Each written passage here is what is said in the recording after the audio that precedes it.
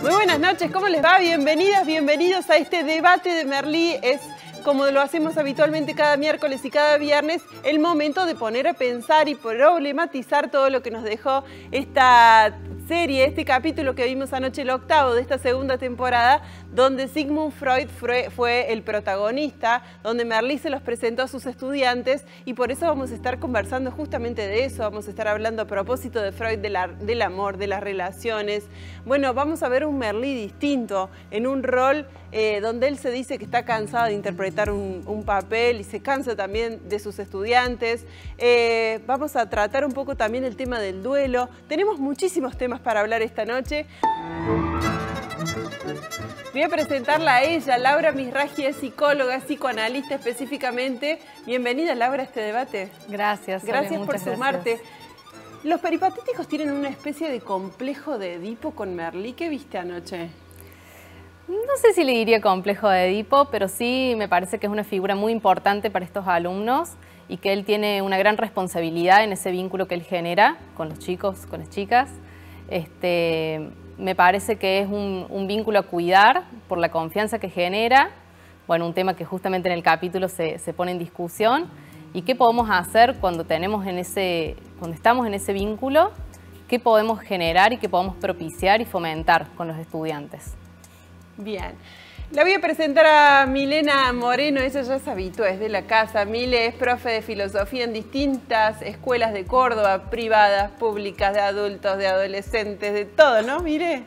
Es como si fuera un supermarket de la filosofía, algo así. Encontrás de todo en cualquier aula y en cualquier lugar. Mile, ¿qué hubiera sido de nosotros hoy en la actualidad sin la teoría freudiana? Seguiríamos eh, buceando sobre lo que nos... Eh, sobre lo que verdaderamente somos y sentimos y deseamos sin saber por qué. Eh, seguiríamos, como hubiera explicado Freud, eh, echándonos de esa gran casa que somos nosotros y que, mm, porque molestamos constantemente, ¿no? Estamos golpeando sobre la situación que deseamos, que queremos, eh, que no aceptamos, que no resolvemos y lo echamos de la habitación, lo echamos de, nuestra propia casa, pero seguimos gritando en la puerta, seguimos pateando la puerta. Entonces, eh, lo que hace Freud con nosotros es esto, eh, abrirnos la puerta para que nosotros pensemos que no somos lo que vemos en el espejo, sino lo que sentimos adentro nuestro. Esta noche tenemos el lujo inmenso de sumar a este debate a Horacio Vanega. Él es filósofo, está en Buenos Aires y Horacio, dicen las malas lenguas, no solamente es amigo del guionista, sino que además ha sido la inspiración de Lozano, del guionista de Merlí. El Merlí argentino, podríamos decir. Bienvenido, Horacio. buenos días, buenas noches. Muchas gracias de nuevo por invitarme y estar compartir con ustedes este maravilloso programa. ¿Cómo estás? ¿Todo bien? para nosotros es un gusto que te sumes, es un honor que estés aquí en este programa, como siempre. Horacio, ¿por qué Freud? Si Freud no es filósofo, ¿por qué lo toman a Freud? Ah, muy buena pregunta. No forma parte del canon de los filósofos. Eh, pero me parece por lo que dijo Milena recién, es el gran pensador eh, que ha tirado abajo la última capa de narcisismo que quedaba, como el mismo Merlín lo presenta en el programa, el capítulo 8. Si bien tenemos a...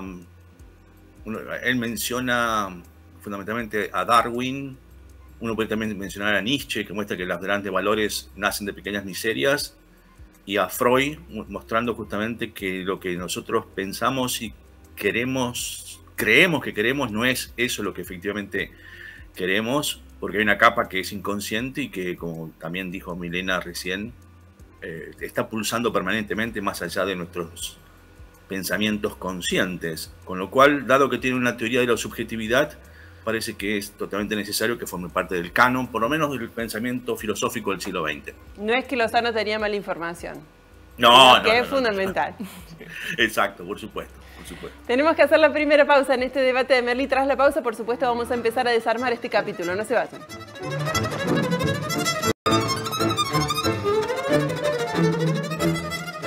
Abrimos un nuevo bloque aquí en este debate de Merlí y vimos anoche un Merlí raro, un Merlí distinto, que dice que está cansado de sus estudiantes.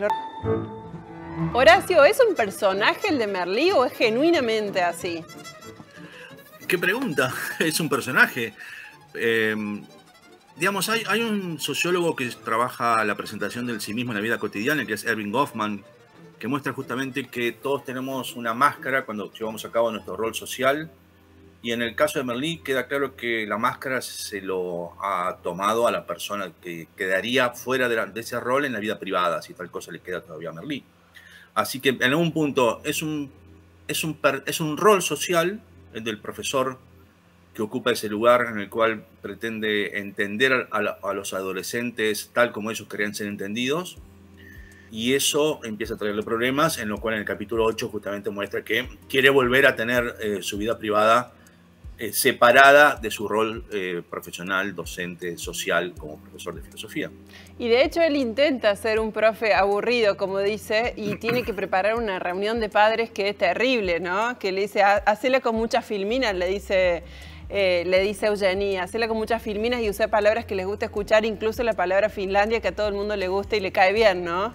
Bueno, lo que, le invitan a hacer a Merly es, es lo que él nunca haría por sí mismo, y que en algún momento siente, creo Merlí, eh, esta necesidad de alejamiento, pero le dura poco a Merlí eh, porque él necesita del aplauso de sus alumnos, no sus alumnos de él.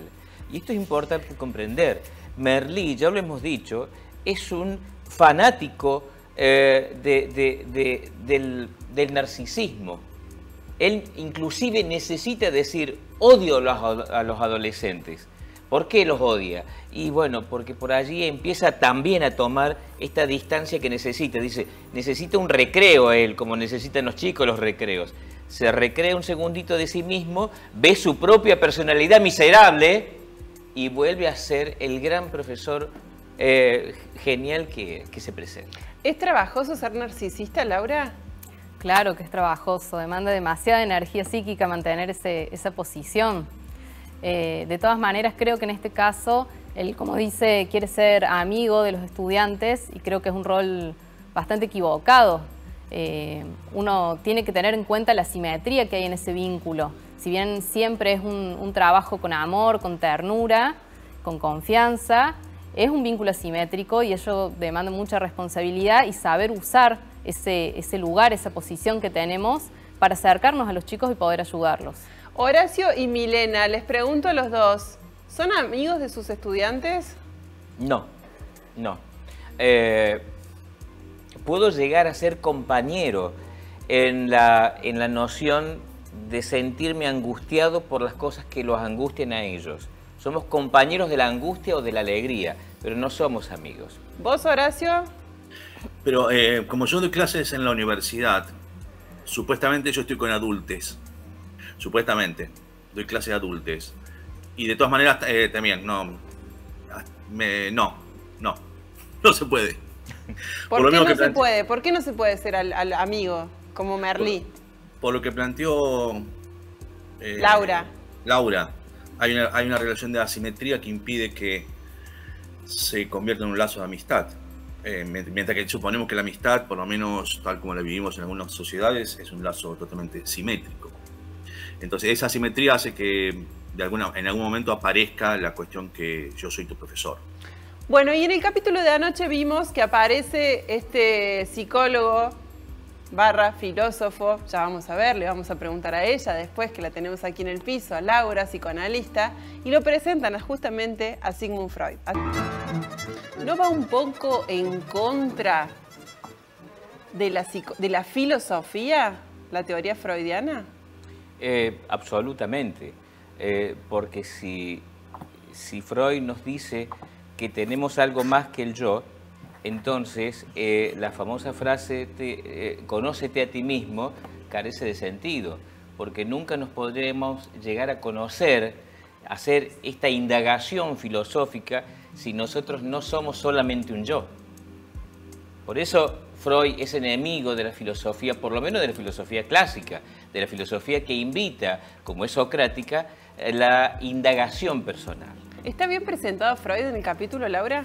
¿Merlí se los explica bien? Sí, me parece que sí, que logra bajar conceptos claves freudianos que tienen que ver con este nuevo concepto que introduce el inconsciente, lo dice en pocas palabras y muy claro, y el impacto que tiene eh, revolucionario para nuestra época, pensar en esta parte desconocida para nosotros mismos, oscura, y de la que no tenemos control. Y si bien tenemos vías de acceso a esa parte inconsciente, nos cuesta muchas veces darnos cuenta y, trabajar sobre ello. Entonces, sí, me parece que lo logra bajar muy bien.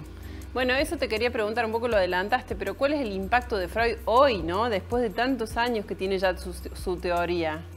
Sí, ya tiene más de 100 años y sin embargo yo creo que sigue tan vigente como en ese momento. Por supuesto hay cuestiones que uno debería revisar, pero la idea clave del inconsciente a mí me parece que sigue súper vigente y que nos permite hoy seguir entendiendo nuestras conductas, nuestras acciones, nuestros síntomas, algo de lo que también trabaja este capítulo. Eh, yo creo que sí, que está muy vigente. ¿Te imaginas evolucionando esa teoría, eh, Horacio? No, no vos, claro, no vos, pero digo alguien, ¿te imaginas una teoría superadora? ¿A la teoría del psicoanálisis? Sí. Hay intentos eh, que vienen por el lado justamente de las neurociencias, que están intentando localizar en la parte del cerebro donde estarían ubicados los traumas, que es como una especie de fantasía conductista cumplida, y que entonces un tratamiento con tipo de drogas lisérgicas podrían ayudar a cambiar determinadas eh, pautas de comportamiento, que también es algo que se conecta con ciertas terapias eh, llevadas a cabo en la década de los 70. así que Parecería que, por un lado, la técnica podría avanzar, pero, como bien también dijo Laura, el descubrimiento del inconsciente es lo que sigue más en cuestión. Si el inconsciente es el cerebro o no, por ejemplo, que uno puede conectar con cierta, parte cierta fase positivista del pensamiento de Freud. Cuando Freud también en un momento dice, cuando la neurología avance, quizás todo esto sea este, de más. Entonces ahí, eh, respecto a todo lo que está pasando en ese campo, en la investigación científica, habría que ver qué es lo que sucede cuando eso se, luego se traslade al campo tecnológico de la terapia. Y, teniendo en cuenta que está siempre el peligro de la sobremedicación. O sea, me parece que no, tengo opinión formada. Bueno, me, me das el pie justo y abro paréntesis y, un comentario chusma, digamos, 100 años después. Pero ¿qué hay de cierto? Escuché, mito o realidad que Freud abusaba eh, con, sustancias y eso de sus pacientes. ¿Escuché bien? ¿Escuché cualquier cosa? Mira, no lo había escuchado nunca, espero que no sea así. Sí, podemos decir que los primeros estudios que hacían sobre la histeria, que hablaba del abuso entre padres e hijos, él pone en duda, en principio no creía a sus pacientes, después empieza a investigar y por momentos parece que sí, y termina sacando este concepto teórico y diferenciando la realidad concreta, objetiva, donde puede haber abuso o no, y lo que es la realidad psíquica, en donde están los deseos, la fantasía y donde algo de eso se puede mezclar ahí en los relatos. Eh, pero la verdad, espero no haya sido abuso de parte de, este médico. ¿Escuchaste vos algo, Mili o Horacio? ¿Escucharon algo de eso o no? No, no, no. Lo que, yo, la única relación que pudo haber establecido esto de, del abuso un poco es, inclusive a nivel semántico. Eh, histeria del griego significa útero. Entonces, sí se ha considerado durante muchos años que eh, solamente las mujeres eran histéricas, ¿no? porque solo tenían útero. Pero creo que hay algo que está por encima de la significación etimológica de la palabra. Y creo que Freud lo, descubrió. No sé si lo descubrió eh, sometiendo al paciente o no. Quizás eh, yo soy muy delicada en eso y pienso en la honorabilidad del científico y del educador. Eh, ojalá que no. Bueno, hay un tema que se ve, que se vio anoche en el capítulo que tiene que ver y que salta más fuerte que nunca, que tiene que ver con los celos de Joan, ¿no? De la posesión. Y me parece que él echan, echan mano justamente de Sigmund Freud para poder explicar algunas cuestiones. ¿Es un tema el de los celos, el de la posesión para Freud? Sí, claro, Freud lo trabaja y lo trabaja también en relación a la elección de objeto, la elección de pareja, el tipo de pareja que nosotros elegimos, las relaciones, los vínculos que generamos, tienen que ver con nuestra propia historia, ¿sí? Por eso también trae el complejo de Edipo, ¿no? Como esa reedición de los vínculos. Eh, y en esa elección que hacemos de objeto, mucho tiene que ver con nosotros. Entonces, los celos, la posesión, tiene que ver con esa parte que tenemos miedo, por ejemplo, de perder o que se nos escape. Eh, me parece que, tiene que, va asociado ahí.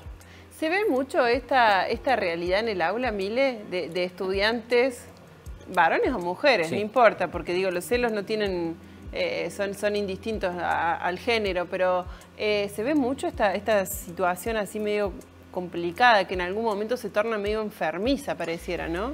Hay, hay un concepto entre los adolescentes, por ejemplo, yo estoy en distintos eh, eh, grupos sociales, ¿no? la, significación, la representación de lo que implica el celo, eh, hay como un, común denominador que es el concepto de posesión por amar. ¿no?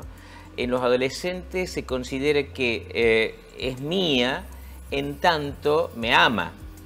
Es decir, que hay una una posesión del cuerpo del otro, no de la eh, situación emocional. Eh, en el aula siempre hablamos sobre los celos en algún momento de, la filosofía y advierto siempre de que empiecen a tener otra forma de comunicación, que no digan más mi amor, porque uno asienta más el mí y no el amor que se tiene. Empiecen a decir, amor mío, porque lo que está en juego acá es cuánto yo te amo, y cuánto no soy tu posesión. Ahí está, me encantó eso. ¿Es natural celar a una persona, Laura?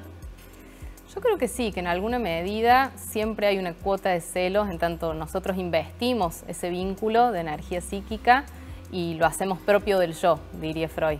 Entonces hay una parte de, de, pérdida, de retención de esa, de esa energía que depositamos en el otro. El tema es eh, en qué medida suceden esos celos y qué posibilita o no en ese vínculo en relación al otro. Eh, Horacio, tomando un poco lo que decía eh, Milena, em, ¿la de los celos te parece una cuestión atada al patriarcado? No necesariamente, no necesariamente. Eh, Milena habló de Sócrates y si hay una escena de celos en Sócrates en el banquete respecto al Cibíades y la juventud y respecto del propio Sócrates. Parece que los jóvenes se le disputaban al, gran patriarca que decide morir por la filosofía. Pero en Spinoza, por ejemplo, los celos forman parte de la clase de los afectos que están conectados con la envidia. Y la definición que da de la envidia es Spinoza, el gran racionalista, es la envidia es atribuir una causa imaginaria a la felicidad del otro. Entonces, em, uno podría decir, si tiene que ver con el patriarcado, tiene que ver con el capitalismo también. Por la envidia que da que el vecino tenga el auto más grande que, el mío, que tenga el jardín más cuidado que el mío, cosas por el estilo muy yankee si quieren planteadas, pero de esa manera. Entonces, no sé si. Y, por otra parte, eh, Sole, es como que. Para pensar en algo que no es el patriarcado, lo tenemos que imaginar. Porque justamente el patriarcado tiene 25 siglos. Entonces, ahí, de nuevo, la opinión, eh, la opinión me, hace dudar. No tengo opinión formada.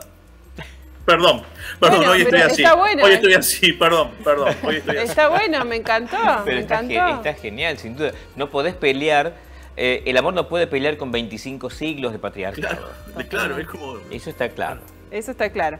Bueno, a propósito de Freud, entonces anoche vimos también que se empieza a trabajar el tema del duelo que es central en la teoría freudiana y aparece allí fuertemente una historia vinculada a la muerte del hermano de eh, Oliver. Es como si él se negara al duelo, ¿no? ¿Qué es la muerte para Freud, Laura? Qué pregunta. No sé si podría responder qué es la muerte. Pero ¿por qué cobra eh, vital importancia en su teoría? Me parece que se pone en juego, él habla de las pulsiones de vida y las pulsiones de muerte. Bien. ¿sí? Esas pulsiones, esa energía, esos deseos que nos llevan más a la muerte que a la vida. Este, y me parece que siempre o muchas veces está asociado a la palabra, ¿no? Cuando dejamos de usar la palabra, cuando quedan cuestiones no dichas, empiezan a surgir acciones, síntomas que nos llevan más a la muerte, a la compulsión, dice Freud, que nos acerca más a la muerte. Hay ahí una cuestión alrededor de, en esta escena, que es el no parecer feliz, ¿no? Que como que molesta eso. Porque ¿qué, qué, hay ahí en la imagen de la felicidad y los duelos? Bueno, Laura dijo algo interesante que tiene que ver con los instintos y los impulsos de Eros y Tánatos. Que los impulsos, es decir, el impulso de vida es conservar la vida para evitar la muerte. Y el impulso de Tánatos es no sufrir.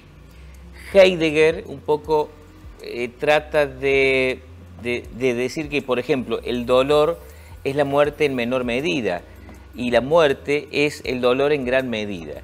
Lo que acá se plantea en alguna medida es que la felicidad es un punto, eh, es una especie de bisagra donde se puede olvidar el concepto de muerte y se puede olvidar la vivencia de la muerte. Pero lo más complicado aquí es que la muerte y el sufrimiento, diría Byung-Chul Han, es parte de la vida. Negar el duelo es negar la vida. Negar la muerte es negar la vida. Eh, en un momento del capítulo vimos anoche que eh, Merlín le dice a Oliver que la pérdida de un hijo no se supera en toda una vida. Eh, y pareciera que es como que hay distintos duelos de acuerdo al rol que uno tiene que interpretar. No es lo mismo un duelo para una madre, para un padre, que para un hermano. No es lo mismo, supongo, el duelo para un adulto que para un niño. ¿Hay diferencias en eso, Laura? Los duelos, como muchas cosas, siempre son subjetivas, siempre son uno a uno. No hay tiempos, no hay recetas para transitar los duelos. Sí, es importante darse el tiempo, el espacio, el lugar para vivirlos, para transitarlos, para evitarlos y buscar compañía en ese proceso de todos los estilos. Puede ser desde la terapia a un amigo, un compañero, un familiar. Eh, la soledad muchas veces es traicionera en ese sentido. ¿Estuve en lo cierto o no estuve en lo cierto, Horacio? ¿Te gustó esa totalmente, escena? Totalmente en lo cierto. Se, eh, completa con la, cuando aparece y les dice que hacen móvil, de, móvil adictos o algo así. Dejen el celular de una vez por todas, que no pasa todo esa hora. ¿Por qué esa, eh, eh, vos hace un ratito hablabas justamente del capitalismo y de cómo nos fue empujando a algunas conductas? ¿Tiene que ver con eso? En algún punto creo que sí, porque está hablando justamente de la sociedad de consumo y aparece un punto muy claro para, los adolescentes y los que no somos adolescentes, que es el cuidado del cuerpo, el tema de ir al gimnasio y todo lo demás, con la fantasía de tornarnos inmortales, bellos, eh, activos sexualmente permanentemente. Y Merlí les está mostrando algo que también ah, em, alguna vez en España apareció un libro que decía menos prosa que más Platón, que tiene que ver justamente con la cuestión de instalarse algo que también Freud había, trabajado, que es el malestar de la cultura.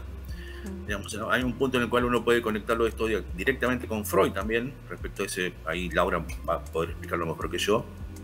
Y por otra parte, con la cuestión que la sociedad de consumo no te ofrece, te, promete la felicidad, pero nunca te la va a dar. Porque cada vez que aparece un producto, lo consumís, necesitas otro y al mismo tiempo necesitas otro producto nuevo en la próxima temporada. Que es la estructura de la moda.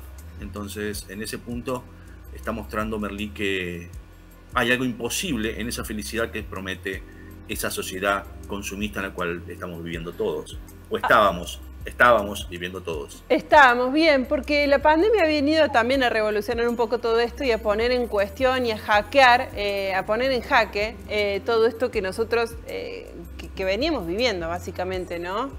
Sí, creo, en este sentido, creo que la pandemia ha funcionado como un pequeño recreo nada más, pero vamos a seguir pensando porque el consumismo ya es una nueva teoría filosófica de la modernidad, el consumismo, eh, la idea de que nos venden, de que somos libres, de que lo podemos todo, de que esta positividad eterna, de que de lo malo se aprende, eh, y claro, empezamos a construir personas cansadas. Eh, depresivas, cansadas. En el año 70, como nombró recién eh, Horacio, había un libro maravilloso como que nombró Lumarinov, que era más Prozac, eh, menos Prozac y más Platón. ¿no? invitando a que dejaran de consumir pastillas para empezar que la lectura filosófica sea un verdadero solución de los problemas, exacto. ¿El correlato sería algo así como menos, menos autoayuda y más Freud? Podría ser. Me parece que eh, sí, en esta época en psicoanálisis hablamos del imperativo del goce, ¿no? Esa casi el deber de gozar de satisfacción plena, lo cual es imposible, y ya lo decía Freud, cuando, como decía Horacio en el malestar en la cultura, es imposible la satisfacción plena. Y eso genera mucha ansiedad, mucha tristeza, mucha depresión, bueno, todos los síntomas que estamos viendo actualmente. Y potenciados por la pandemia, ¿no? Por supuesto. Tenemos que hacer una nueva pausa aquí en este debate de Merlí. Tras, la pausa vamos a seguir hablando de todo lo que sucedió. Vamos a estar hablando sobre la, sobre la adolescencia, sobre ser madre adolescente. Parece allí Oxana y finalmente Gerard descubre que tiene un niño. Y vamos a estar hablando de todos esos temas. No se vayan. Pobre, le cayó como un balde de agua fría el pobre Gerard, ¿no? no se si había algo que no se esperaba era que su novia tuviera un hijo y claro, ahí se juegan muchas cosas, ¿no? Por supuesto la sorpresa de él, pero además em, este, este miedo, supongo yo, creo yo, de Oxana a que sus compañeros, sus, referentes la acepten, ¿no? Porque ella no, no, lo dice nunca, nunca asume, nunca cuenta, nunca se anima a contar que ella es madre. La valentía de decirle, es mi hijo, no mi hermanito. Es un acto de arrojo de valentía y de decisión, ¿eh? Eh, creo que esa es la parte más importante de, este pedacito que hemos visto, ¿no? Que ella decide, pudiendo no haber dicho que es su hijo, lo dice. Y pero es que quedaba muy en evidencia ya. ¿Sabe su novio? Pero Sole, ¿sabe cuántas alumnas tengo yo que le dicen a sus novios que no tienen hijos y que son sus hermanos menores? Que no se animan a decirle a sus parejas que son madres eh, adolescentes porque todavía siguen pensando que su adolescencia no tiene que ser eclipsada por ser madre. ¿Cómo se incorporan las madres adolescentes a las aulas? Eh, imagino que una cosa es la realidad de la escuela pública y otra muy distinta a la de la escuela privada. Bueno, la escuela pública, eh, un día yo empecé a decir, bueno, eh, chicos hay que usar preservativo. Y una chica que era madre me decía, profe, está hablando ya tarde. Bueno, pero quiero decir que en la escuela pública se hablan estos temas. ¿no? En la escuela privada aún es terrible, es, más complicado. Y en la escuela nocturna me pasa algo maravilloso. Las madres van con sus niños. Van con los niños. Y yo les tengo el niño hasta que hace la prueba. Yo juego con el niño en el aula hasta que su madre termina la prueba de, de, filosofía, de psicología social o de psicología. Y eso es lo que uno empieza a reconocer en el niño sea un niño, un bebé o sea un niño de 5 o 6 años. Ahí claramente el rol de la escuela trasciende el meramente pedagógico, educativo. Absolutamente. Es el rol de eh, generosidad hacia el otro. Le ayudo al otro a lograr su objetivo educativo no solo enseñando y tomándole prueba, sino colaborando en su dificultad simbólica de poder no hacer un examen o no, o no tomar una clase. ¿En la escuela privada se habla de la maternidad adolescente? No se habla tanto hoy en día, pero me parece que tenemos la herramienta del programa de educación sexual integral que nos ayuda a empezar a poner en palabras en todas las asignaturas de forma transversal, en todos los espacios curriculares, hablar de estas cuestiones y hacer ampliación de derechos también para madres que tienen a sus hijos, que puedan ir a la escuela con ellos o que la escuela busque las formas, las herramientas de acompañarlos para que puedan concluir la escuela, para que puedan estudiar en la universidad si quisieran. Eh, es el derecho que tenemos todos y me parece que la escuela tiene herramientas para, para apoyar. Horacio, ¿por qué a Oxana le cuesta tanto asumir que tiene un niño pequeño, que es mamá? Tengamos en cuenta también que es inmigrante, ¿no? Eh, y por otra parte, digamos, le cuesta por algo que ya plantearon Milena y Laura, digamos, es el, es la imposibilidad de vivir la adolescencia tal como lo viven los, referentes, como lo planteaste vos. Em, es difícil que te quedes sin una parte eh, de la vida que todos los demás viven en ese punto. Me parece que va por ahí, por ese lado. Pero por otra parte, yo también me preguntaba, cuando volví a ver el capítulo, ¿dónde está lo siniestro del capítulo? ¿no? Eso, familiar que se transforma en siniestro. Y para mí esta parte que vos mostraste del capítulo es lo, es justamente donde a Gerard lo familiar se transforma en algo totalmente desconocido y fantasmal, que es eh, justamente que la persona con él dice que está enamorado, se lo acaba de decir a Mónica, eh, le ha ocultado algo. Se siente traicionado. No, no, es que fue traicionado. claro, claro. Por el sentido justamente, como está dando cuenta todo el tema de los celos, como lo planteaste en el, en el bloque anterior, aparece algo de lo real, en lo cual el tema de los celos aparece totalmente minimizado, porque frente a esa evidencia que le ofrece ese reconocimiento, como dijo Milena, de, bueno, este es mi hijo, eh, Gerard lo único que puede hacer es retirarse y luego empieza el debate y el debate y la, y la asamblea popular que se arma entre los compañeros, ¿no? Tipo, bueno, yo hice esto porque lo no había que decirlo, y el otro que lo empiezan a cargar, eh, mira, mira con lo que se encontró. Eh, es muy interesante ahí lo que sucede justamente con, la, lo que están planteando como aceptación de lo que es ser madre y adolescente, aceptar eh, que es una extranjera y una extraña, pero que quiere ser aceptada por sus compañeros y compañeras. Además desnuda una realidad cruel en el sentido de que es ella sola la que carga con su hijo, el padre del niño no aparece en ah, ningún momento. Lo, hemos visto, lo hemos visto otra vez que he estado acá. En Merlí no hay padre. No, hay y los padres, no, y los padres que hay, eh, no, es alguien que uno quisiera invitar a un asado, si alguna vez volvemos a hacer asado, ¿no? Eh, vamos a, siempre teniendo en cuenta el potencial.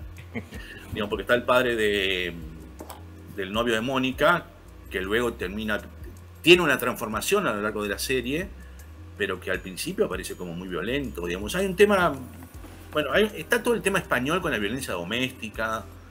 Digamos, el psicoanálisis eh, funciona en Barcelona, pero no mucho más. Eso y otras cuestiones que habría que tener en cuenta también al momento de, ver cómo nos, cómo, cómo, nos acercamos a Merlín, ¿no?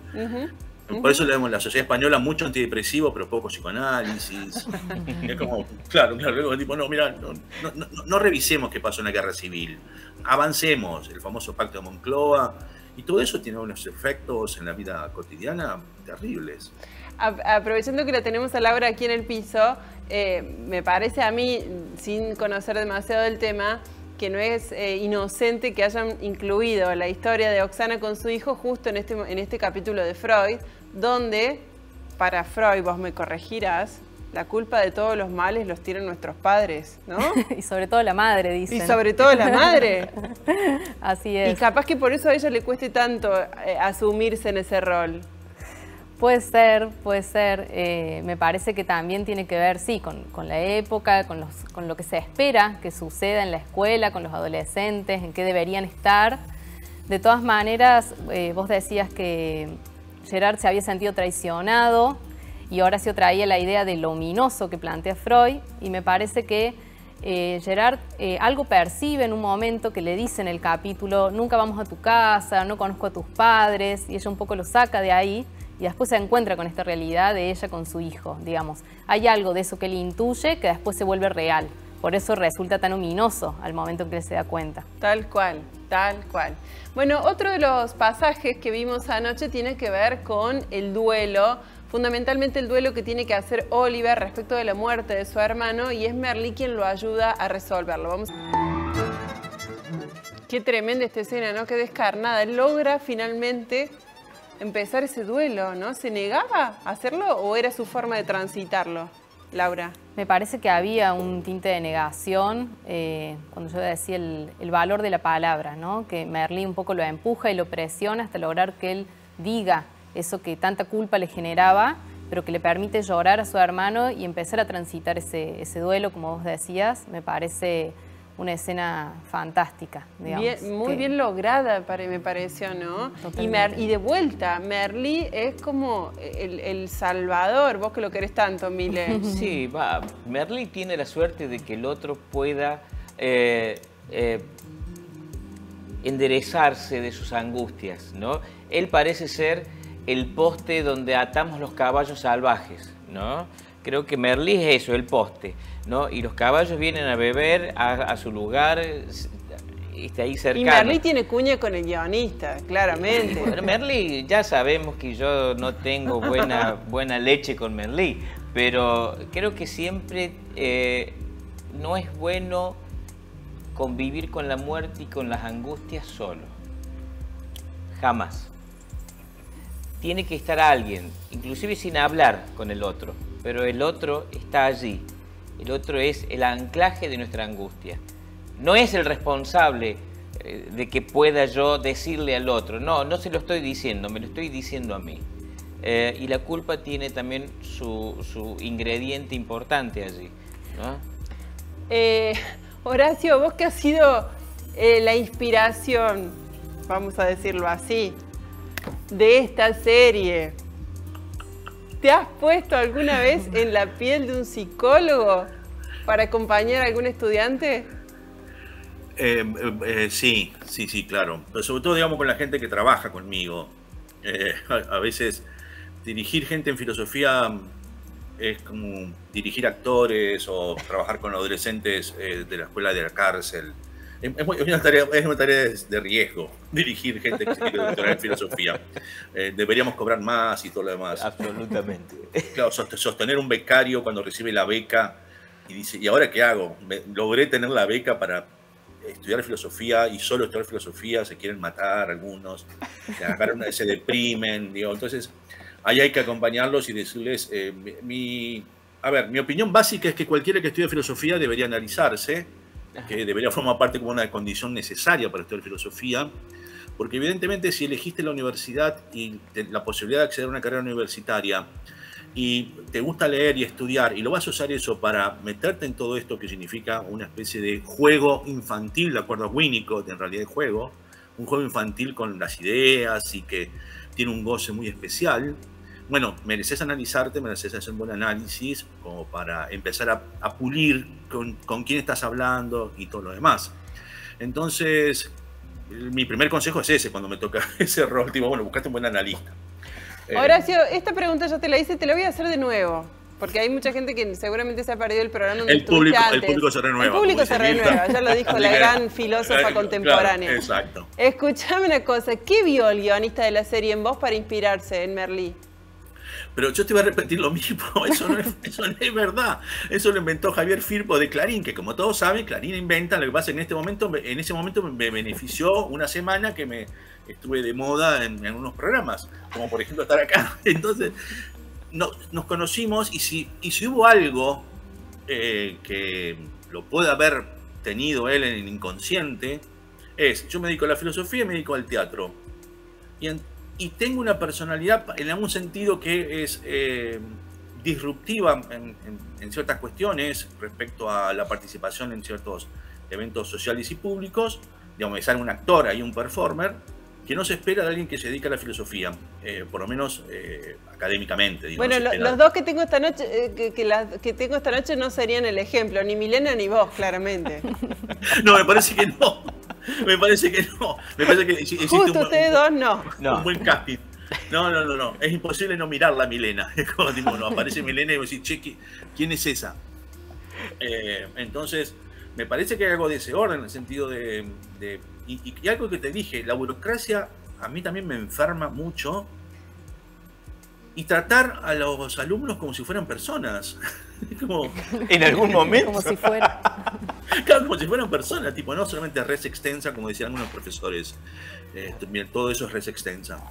En el sentido en cual, si están en relación con la filosofía, bueno, es alguien que está metiéndose en un camino que en un momento se va a poner difícil, pero en otro momento hay que mostrarles la felicidad que provoca que mientras el mundo se está cayendo a pedazos, eh, todavía nos queda la posibilidad de indagar por el sentido, de indagar por las causas de ese derrumbe, y de indagar por la muerte, y si la vida tiene algún sentido. Me parece que la tarea que nos queda un poco que bordea lo que denominaríamos ahí la terapéutica, y en ese punto me voy a, me voy a permitir confrontar un poco con, con Milena, eh, si hay algunos intentos de conectar a Freud con Sócrates, pero entonces hay una noción de que la filosofía es terapéutica, desde la consolación de la filosofía de Boesio, luego pasando por Wittgenstein, mostrando que ciertos problemas no son problemas, sino son juegos de lenguaje, entonces hay ciertas cuestiones que me parece que cuando uno puede revisar su propia concepción de filosofía y aceptar que hay filosofías, entonces aparece un pluralismo conceptual, que nadie tiene la verdad absoluta, sino que las verdades son relativas, plurales, históricas, contingentes, eso ayuda a que determinadas cuestiones eh, dejen de ser tan graves, solemnes y que aparezca un poco el humor, que a veces falta también en la filosofía. Eh, en ese punto. Eh, entonces, hay algo del trabajo terapéutico que creo que yo también ya empezaba a considerar cuando nos conocimos con Héctor, que podía ser la filosofía, que podríamos decir que se puede conectar con, con Merlí.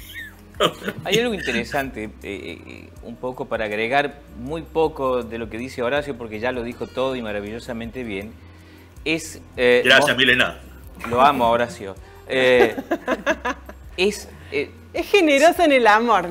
absolutamente. Y Muy bien. La idea es cuando vos le mostrás al chico que está la muerte, la angustia, el sufrimiento, el dolor, la tragedia, la ausencia, el chico queda y se ve como solamente que está en un pedazo de tierra y todo hay nada.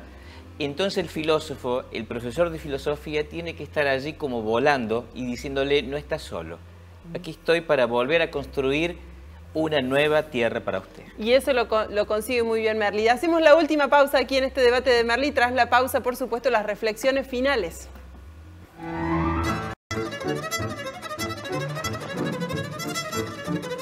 Bueno, ya es un hábito en este programa, nos quedamos sin tiempo, así que nos tenemos que despedir. Muchísimas gracias, Milena Moreno, por haberte sumado a este debate una vez más. A ti. Muchísimas gracias, Laura Misraji, por haber sido parte también. Esperamos haber estado a la altura ¿no? de, Freud.